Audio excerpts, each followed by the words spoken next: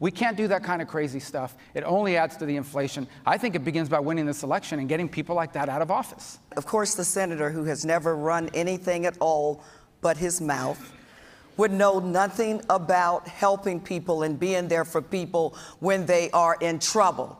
They demonized the Border Patrol.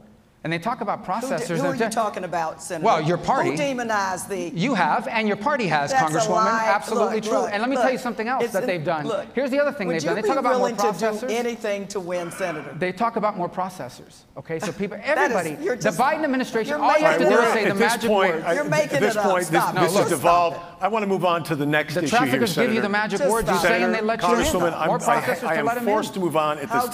How gullible do you think people are? The next question is going to. I don't know what word you prefer, socialist, Marxist, crazy. I don't know. I'm open to suggestions about how we describe Demings, such I- a nutty idea Senator, that that's your the time. Congresswoman Demings.